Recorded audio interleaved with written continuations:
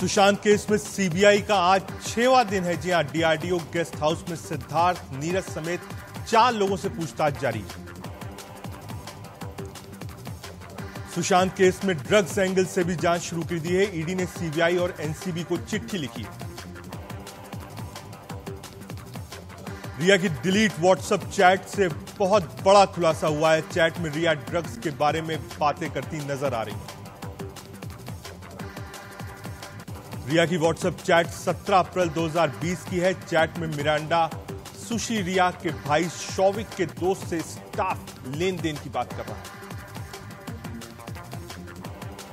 रिया की चैट में हैश और बट का भी ज़िक्र है। इसके अलावा 25 नवंबर 2019 की भी एक चैट सामने आई है, जिसमें रिया, जया शाह के बारे में बात कर रही है। रिया के वकील का दावा किया है कि रिया ने कभी भी कोई ड्रग्स नहीं लिया है। रिया ब्लड टेस्ट कराने के लिए भी तैयार है। रिया की ड्रग्स चैट को लेकर सुशांत की बहन श्वेता ने ट्वीट किया है। कहा यह एक आपराधिक मामला श्वेता ने ट्वीट कर कार्रवाई करने की मांग की है। श्वेता ने लिखा, सीबीआई को इस मामले में तुरंत एक्शन लेना चाहिए। रिया के समर्थन में फ़िल्म डायरेक्टर राम गोपाल वर्मा उतरे। हैं जिया ट्वीट करके रिया को समर्थन दिया।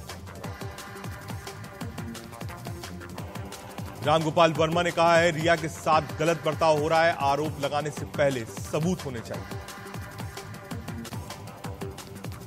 कूपर अस्पताल को महाराष्ट्र मानव अधिकार आयोग ने नोटिस जारी किया है। रिया के शव गृह जाने पर अस्पताल से सवाल किए गए नोटिस में पूछा गया है कि अस्पताल में किस आधार पर रिया की एंट्री हुई थी। मुंबई पुलिस को भी नोटिस जारी किया सुशांत केस में सीबीआई की टीम आज दो और साइकोलॉजिस्ट से पूछताछ करेगी। हिंदुजा अस्पताल के दूसरे डायरेक्टरों से भी सीबीआई बातचीत करेगी। एम्स के डॉक्टरों ने सुशांत के पोस्टमार्टम और फॉरेंसिक रिपोर्ट पर बड़े सवाल उठाए। कहा, सीबीआई हत्या के एंगल से जाँच करे। एम्स के डॉक्टरों की टीम शुक्रवार को सीबीआई को रिपोर्ट सौंपेगी। सीबीआई को डॉक्टरों की टीम सुशांत की ऑटोप्सी और विसरा रिपोर्ट सौंपेगी।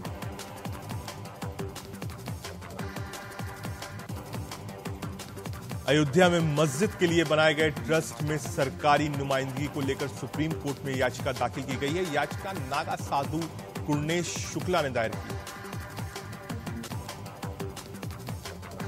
अर्जी में कहा गया है कि मंदिर ट्रस्ट में चाहे सदस्य मुस्लिम ही हो लेकिन वो सरकारी नुमाइंदे के तौर पर ट्रस्ट में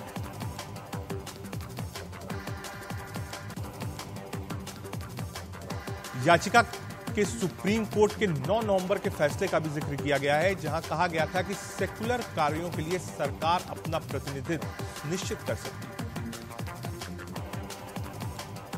अयोध्या में मस्जिद निर्माण के लिए ट्रस्ट का गठन हो गया है। ट्रस्ट में 15 सदस्य होंगे। मुंबई में रायगढ़ इमारत हादसे में मृतकों की संख्या बढ़ी है। मरने वालों का आंकड़ा 15 तक पहुँच गया। मरने वालों में सात पुरुष और आठ महिलाएँ शामिल हैं। एनडीआरएफ का रेस्क्यू ऑपरेशन अभी भी जारी है। महाराष्ट्र के रायगढ़ में इमारत हादसे में एक चार साल के बच्चे को 19 घंटे के बाद मलबे से ज़िंदा निकाला गया। बच्चा अपनी माँ की गोद में। रेस्क्यू टीम को मलबे के अंदर बच्चा मिला तो वहीं अपनी माँ के पेट पर बैठा हुआ था। हालाँकि उसकी माँ की मौत हो गई। माँ ने उसे अपनी छाती से ऐसे लगाया हुआ था जैसे उसके जिगर का टुकड़े पर कोई आँच ना आए। बच्चे की दो बहनें भी हादसे का शिकार हो गई। सोनिया गांधी आज वीडियो कॉन्फ्रेंसिंग के ज़रिए कांग्रेस शासित राज्यों के मुख्यमंत्रियों से बातचीत करेंगी। इसमें जीएसटी समेत कई मुद्दों पर चर्चा होगी। बैठक दोपहर करीब दो बजे शुरू होगी। इसमें हेमंत सोरेन, उद्धव ठाकरे और ममता बनर्जी भी शामिल हो सकती हैं। संसद का मानसून सत्र 14 सितंबर शुरू होगा। संसदीय मामलों की कैबिनेट कमेटी ने 14 सितंबर से 1 अक्टूबर तक संसद सत्र को चलाने का प्रस्ताव रखा। है बिहार विधानसभा चुनाव को लेकर जेडीयू ने कमर कस दी है। 6 सितंबर को जेडीयू की पहली वर्चुअल रैली होगी। ऐप के ज़रिए सीएम नीतीश कुमार संबोधित करेंगे। बीजेपी ने पीएम मोदी के जन्मदिन को लेकर तैयारियाँ शुरू कर दी है। पीएम का जन्मदिन पूरे देश में आत्मनिर्भर भारत की थीम पर मनाया जाएगा। मध्य प्रदेश में ग्वालियर में कांग्रेस के कार्यकर्ता जमा हुए और गंगा जल छिड़ककर शुद्ध किया। कांग्रेस के मुताबिक बीजेपी के तीन दिवसीय महा सदस्यता अभियान की वजह से ये जगह अपवित्र हो गई। जेएनयू का पूर्व छात्र शर्जिल ईमान को गिरफ़्तार कर लिया गया है। यूएपीए एक्ट के तहत पुलिस ने शर्जिल को गिरफ़्तार किया। है शर्जिल पर भड़काऊ भाषण देने का आरोप है। दिल्ली दंगों में शर्जिल इमाम की गिरफ्तारी हुई। जम्मू एंड कश्मीर के पुंछ में एलओसी पर पाकिस्तान ने फिर से फायर का उल्लंघन किया है। पाक की ओर से फायरिंग का भारतीय सेना ने भी करारा जवाब दिया। देश में कोरोना की रफ्तार कम होने का नाम नहीं ले रही। पिछले 24 घंटे में इकसठ नए मरीज़ सामने आए। देश में अब तक कोरोना के 31 लाख आठ हज़ार से ज़्यादा केस सामने आ चुके हैं। इनमें से 7 लाख से ज़्यादा एक्टिव केस देश में कोरोना से 24 घंटे में आठ सौ अड़तालीस मरीजों की मौत हो गई। मौत का कुल आंकड़ा अट्ठावन हो गया है। अब तक 24 लाख आठ हज़ार मरीज़ ठीक भी हो चुके हैं। दिल्ली में भी कोरोना की मरीजों की संख्या लगातार बढ़ी। पिछले 24 घंटे में कोरोना के एक नए केस सामने आए, वहीं 17 मरीजों की मौत हो गई महाराष्ट्र में कोरोना के अब तक कुल सात लाख तीन हज़ार आठ सौ तेईस केस सामने आए इसमें बाईस हज़ार सात सौ चौरानवे मरीजों की मौत हो गई। छत्तीसगढ़ के जांजपीर चापा में बीएसपी विधायक केशव चंद की बड़ी लापरवाही सामने आई है। कंटेनमेंट जोन होने के बावजूद पेट्रोल पंप का उद्घाटन कर दिया।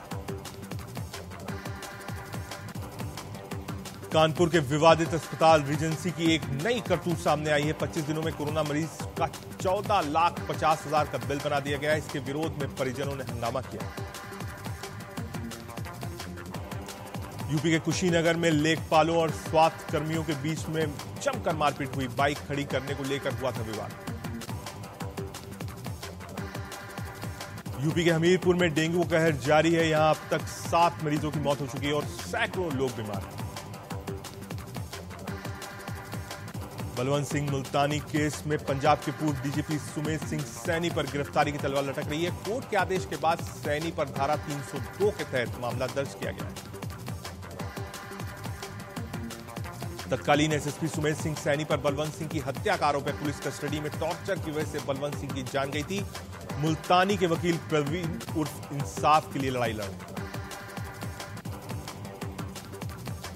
दिल्ली के शालीमार बाग में जबरन उगाई का मामला सामने आया होटल मालिक से पैसे देने से इनकार करने के बाद बदमाशों ने ज़बरदस्त तरीके से तोड़फोड़ और फायरिंग की।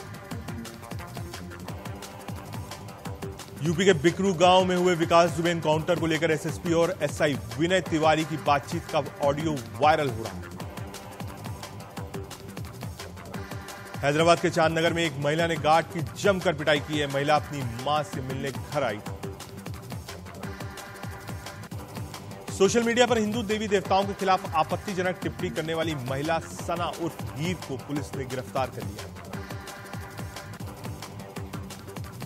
यूपी के जौनपुर में ससुर द्वारा बहू को पीटने का वीडियो सामने आया है। वीडियो में बहू को लाठी से पीटते हुए देखा जा सकता है। पुलिस ने मामला दर्ज कर जाँच शुरू कर दी। यूपी के फतेहपुर में ज़मीन विवाद को लेकर दो पक्षों में खूनी झड़प हो गई, जिसमें दो की हालत गंभीर बताई जा रही है।